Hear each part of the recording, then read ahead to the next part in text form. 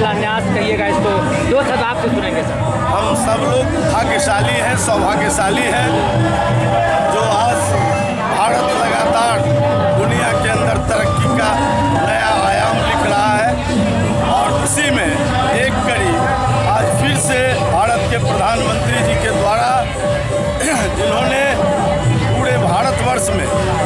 इस अमृत काल में अमृत भारत स्टेशन योजना के तहत 508 रेलवे स्टेशनों को विश्व स्तरीय बनाकर उसका उन्नयीकरण, सौंदर्यीकरण और उसकी नींव रखने का काम आज किया है उन्होंने।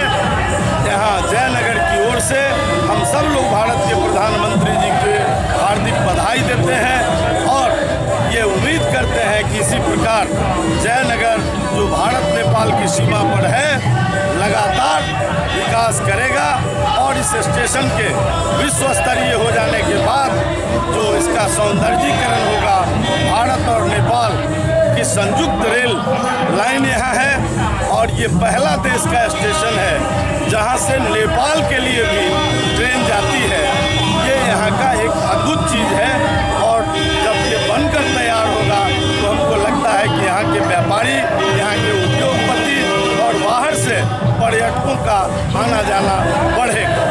धन्यवाद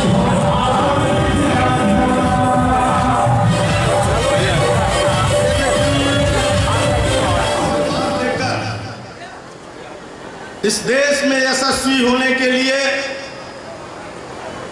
भेजा था, न केवल देश में, बल्कि दुनिया के श्रेष्ठ नेताओं में सर्वश्रेष्ठ गणना आज भारत के प्रधानमंत्री की हो रही है। तो स्वाभाविक है कि जब ऐसे कीर्तिमान स्थापित हो रहे हो और आपके आशीर्वाद से हो रहा हो तो आज ये जयनगर का रेलवे स्टेशन बिना वर्ल्ड क्लास, बिना विश्व स्तरीय बने कैसे रह सकता? है ये आपका योगदान है और आपका आशीर्वाद है। और आपके आशीर्वाद के फलस्वरूप इस समस्तीपुर रेल मंडल में जिन स्टेशनों का सौंदर्यीकरण, नवनिर्माण एवं विभिन्न तरह के कार्य होने हैं, उसका आज आधारशिला भारत के माननीय प्रधानमंत्री जी और भारत के यशस्वी रेल मंत्री आदरणीय श्री अश्विनी वैष्णव जी के द्वारा रखा जाना है।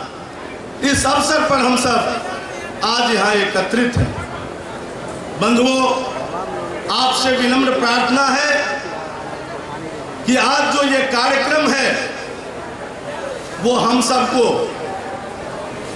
अमृत काल में आज़ादी के अमृत महोत्सव के अवसर पर अमृत भारत स्टेशन योजना के तहत दिया गया।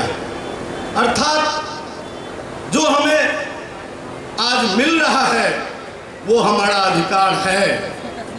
लेकिन इस देश के प्रति आज इस अमृत काल में हमारा क्या कर्तव्य है, ये भी निर्धारित करने की ज़रूरत है और इसका निर्धारण कोई और नहीं कर सकता है।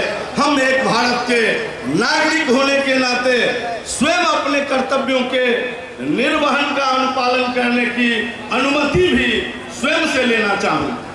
और आज ये अधिकार के बाद आज कर्तव्यों की श्रृंखला और इस देश के प्रधानमंत्री आदरणीय नरेंद्र मोदी जी ने जिस प्रकार से देश और विदेश के अंदर भारत का नाम रोशन किया है भारत जिस प्रकार से आज तरक्की कर रहा है, आदरणीय प्रधानमंत्री जी ने यह भी घोषणा की है कि अगर मैं तीसरी बार आता हूँ, जो निश्चित है तो ये भारत दुनिया की तीसरी अर्थव्यवस्था बनेगी, ये भी संभावित है और भारत इस प्रकार से जो लगातार सभी क्षेत्रों में तरक्की कर रहा है, उसका योगदान किसी और को नहीं है। इस देश के 130 करोड़ लोगों को है। इस देश के इस जयनगर वासियों की है।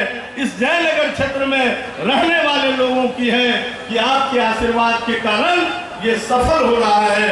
इसलिए आज के इस अवसर पर जयनगर उत्तरोत्तर विकास करे, ये रेलखंड यहाँ अगर बढ़िया ढंग से सुसज्जित हो जाता है, जो भारत और नेपाल की सीमा पर अवस्थित है, जहाँ कमला नदी नेपाल से आकर यहाँ सीधे गिरती है और ये कई किलोमीटर संप्रसाद के साथ गंगा में मिलती है। ऐसा जो मनोरम जगह जयनगर है, जो सीमांचल का क्षेत्र है, उसके विकास में ये स्टेशन चार चाँद लगाने वाला है।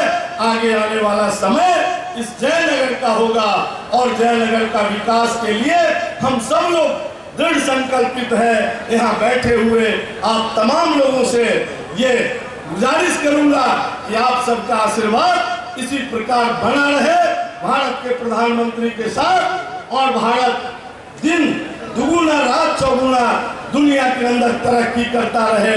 यही आशा और विश्वास के साथ आप सबको आज के अवसर पर आभार प्रकट करते हुए कि आपने बड़ी संख्या में आज भारत के प्रधानमंत्री जी के इस आधारशिला के कार्यक्रम को देखने के लिए उपस्थित हैं आपका बहुत बहुत धन्यवाद। बहुत बहुत धन्यवाद, सर। जैसा कि हमने पहले ही कहा है कि समय के पाबंदियों को देखते हुए, क्योंकि